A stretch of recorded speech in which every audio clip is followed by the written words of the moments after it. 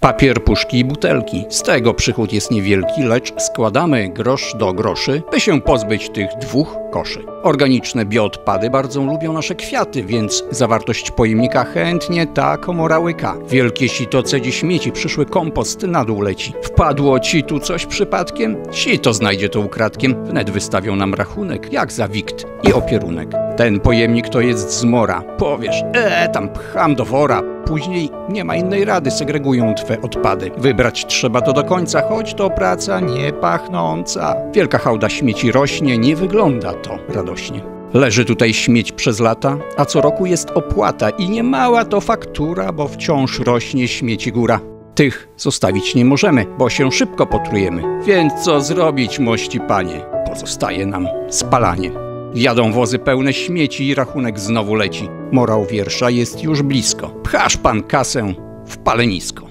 Legendarne, kultowe Mazdy MX-5 znowu pojawią się w Suwałkach. Ich przyjazd zaanonsował podczas poniedziałkowej konferencji prasowej Jan Chojnacki, przewodniczący Rady Artystyczno-Programowej Suwałki Blues Festiwalu. Trudno sobie wyobrazić nasz festiwal bluesowy bez parady tych uroczych aut. Komandor tego rajdu, y, niejaki Józef, y, zdołał zgromadzić 30 y, mas. Tego jeszcze nie było.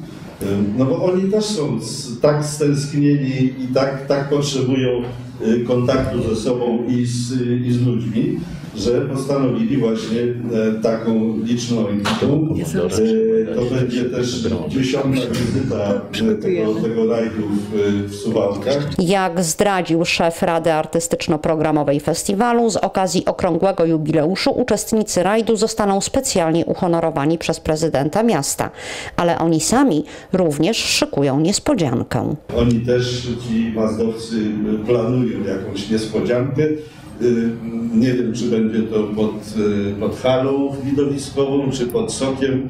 W każdym razie duża przestrzeń będzie potrzebna, żeby to wszystko y, zaistniało, zaiskrzyło i żeby wyglądało imponująco. Więcej szczegółów Jan Chojnacki nie chciał zdradzić.